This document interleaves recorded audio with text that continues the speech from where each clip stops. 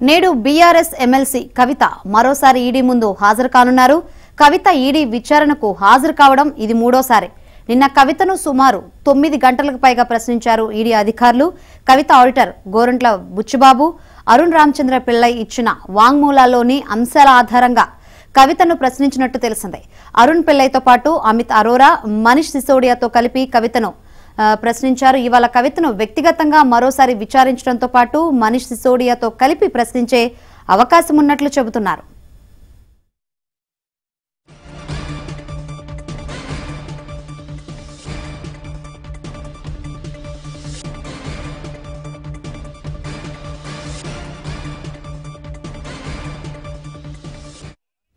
Delhi liquor కుంభకోణం south group ఏర్పాటు south group of మధ్య జరిగిన వ్యవహారాలు సౌత్ గ్రూపులో కవిత పాత్ర పెట్టిన పెట్టుబడులు ముడుపులుగా ఇచ్చిన డబ్బులు కుంభకోణంలో భాగస్వాములైన నిందితులతో జరిపిన సమావేశాల గురించి నిన్న కవితను ఈడీ అధికారులు సుదీర్ఘంగా ప్రశ్నించారు.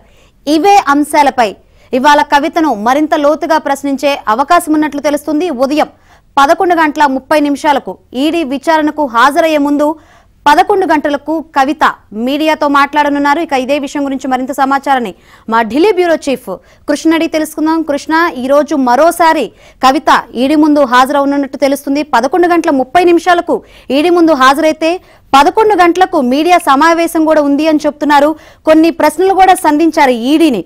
పారదర్శకంగా విచారణ జరగట్లేదని చెప్పారు. ప్రెస్ మీట్లో ఏం మాట్లాడే అవకాశం ఉందంటారు ప్రెస్- కృష్ణ? శంకరి మద్యం కుంభకోణం కేసులో దర్యాప్తు కొనసాగుతుంది. ఇప్పుడు మూడో రోజు ఈ రోజు మూడో రోజు ఎమ్మెల్సీ కవితను కొట్ట ఈడీ ప్రశ్నించబోతుంది. నిన్న సుమారు పది గంటల పాటు ఈడీ అధికారులు కవితను ప్రశ్నించారు. నిన్న ఉదయం పదకొండు గంటల నుంచి రాత్రి తొమ్మిది గంటల వరకు కూడా ఈ విచారణ కొనసాగింది.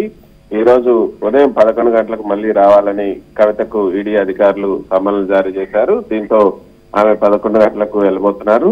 వెళ్ళే ముందు విలేకరుల ఆమె ఏర్పాటు చేసినటువంటి పరిస్థితి. సో ఈ లేఖల సమావేశంలో ఏం మాట్లాడతారన్న దానిపైన సర్వత్రా ఉత్కంఠత నెలకొని ఉందని చెప్పొచ్చు. బహుశా నిన్న ఈ యొక్క విలేకరుల సమావేశం నిన్న విచారణ తర్వాత ఆమె విడుదల చేసినటువంటి ఒక ప్రెస్ రిలీజ్ కూడా చూస్తే తాము ఏదైతే ముందుగా పదకొండు గంటలకు వెళ్ళినప్పటికీ కూడా విచారణ అధికారులు గంట ఆలస్యంగా వచ్చారు. తర్వాత తనను నిందితురాలుగా పిలిచారా లేకపోతే విట్నెస్గా పిలిచారా అని అడిగినప్పుడు వాళ్ళు నీళ్ళు నమిలారు. తర్వాత అసలు ఏ విధంగా విచారణ జరుగుతుంది?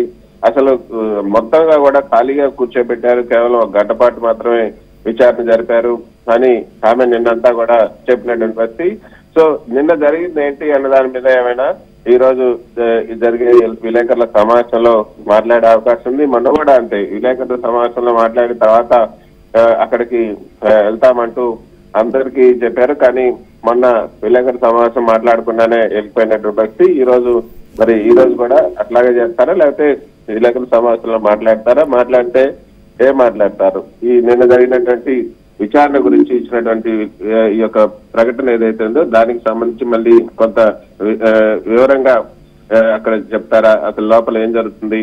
అంతేకాకుండా మీడియా ట్రయల్స్ అనేది చేయకుండా మిగతా తా- నిజాలను మాత్రమే ప్రజలకు చేరవేయాలని కూడా ఆమె చెప్తున్నారు. కాబట్టి తాను నిన్న జరిగింది ఏం జరిగింది ఎట్లా జరిగింది అసలు అక్కడ మీడియా ట్రై- అక్కడ విచారణ ఏ విధంగా తను ఎదుర్కొంటున్నది ఎంతమంది తన అధికారులు విచారిస్తున్నారు ఏమేమి అంశాలు విచారిస్తున్నారు ఇలాంటివి ఏమైనా ఇందులో చెప్పే అవకాశం ఉంటుంది.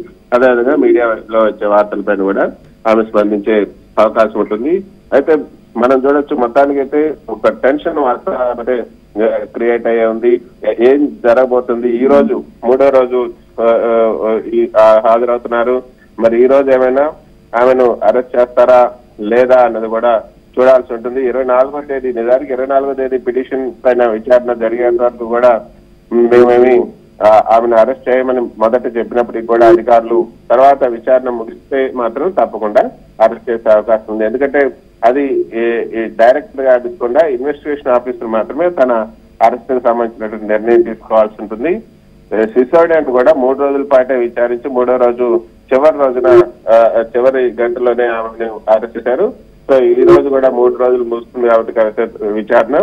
మరి ఈ రోజు కవితను అరెస్ట్ చేసే అవకాశాలు ఉన్నాయా అన్న దానిపై కూడా సర్వత్రా ఉత్కంఠత నెలకొని ఉంది బుచ్చిబాబు ఇచ్చినటువంటి వాంగ్మూలం అరుణ్ రామచంద్రన్ ఇచ్చినట్టు పిల్ల ఈ అరుణ్ రామచంద్రన్ పిల్ల ఇచ్చినటువంటి వాంగ్మూలం అంశాలపై కూడా కవితను ఈ రోజు కూడా ప్రశ్నించే అవకాశాలు ఎక్కువగా ఉన్నాయి. అరుణ్ రామచంద్ర పిల్లతో పాటు అమిత అరోరా మనీష్ సిసోడియాతో కలిపి కవితను నిన్న ప్రశ్నించారు. ఈ రోజు కూడా వాళ్ళతో కలిపి ప్రశ్నించే అవకాశం ఉంటుంది. ఇవాళ కవితను వ్యక్తిగతంగా మరోసారి విచారించడంతో పాటు మిగతా నిందితులతో కూడా కలిసి కన్ఫరెన్స్ చేసే అవకాశం ఉన్నట్లుగానే మనకు అందుతున్నటువంటి సమాచారం.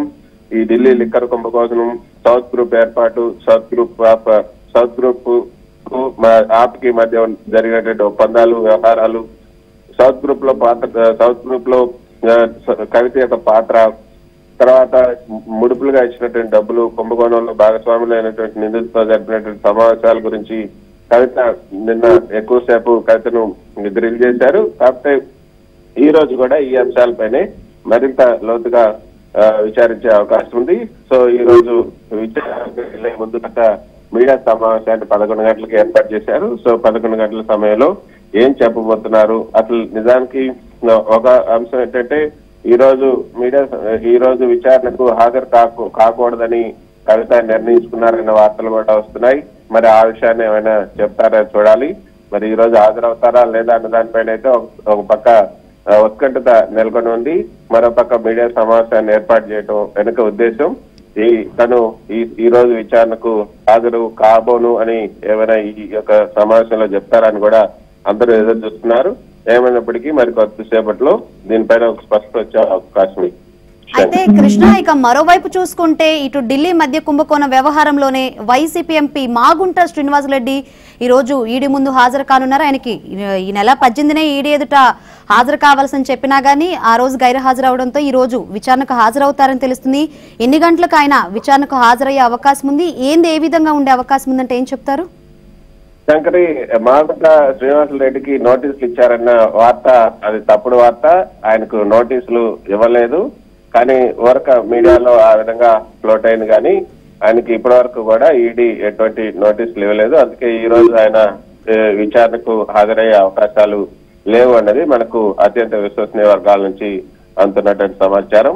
నిన్న ఆయనకు నోటీసులు ఇచ్చారు. ఈ రోజు ఉదయం పదకొండున్నర పదకొండు గంటలకు విచారణకు రావాల్సిందిగా ఆదేశించారు అంటూ వార్తలు వచ్చాయి. కానీ మనకు తెలిసినటువంటి సమాచారం మేరకు ఆయనకి ఈడీ నోటీస్ లేదు అందుకే ఈ రోజు ఆయన హాజరయ్యే అవకాశం లేదు. Right thank you Krishna thanks for updates